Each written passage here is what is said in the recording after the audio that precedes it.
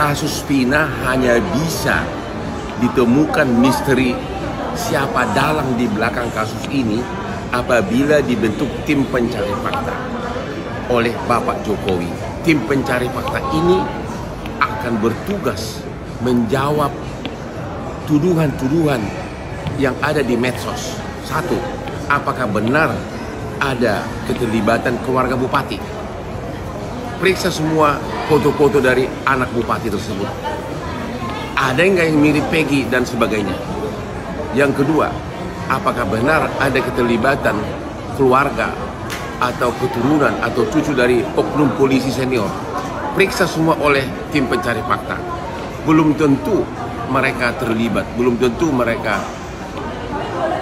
ada kaitan dengan kasus ini, tapi masyarakat sudah keburu curiga. Medsos hampir 90% menuduh yang begitu-gituan.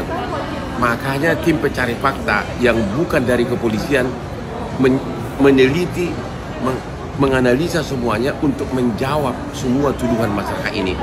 Termasuk tentu yang paling fatal adalah siapa dalang pembunuhan ini.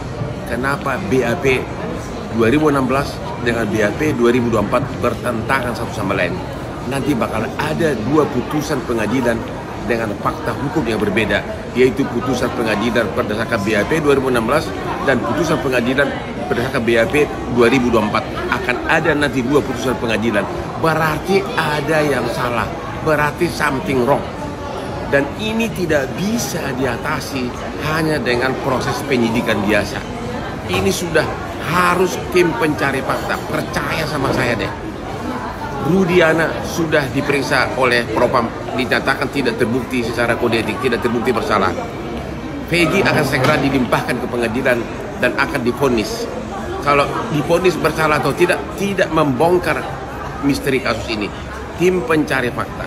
Sekaligus juga tim pencari fakta mengecek benar nggak Hotman Paris terima 7 miliar. Kekecilan 7 miliar, monyong-monyong lu semua yang nuduh gua. Nih,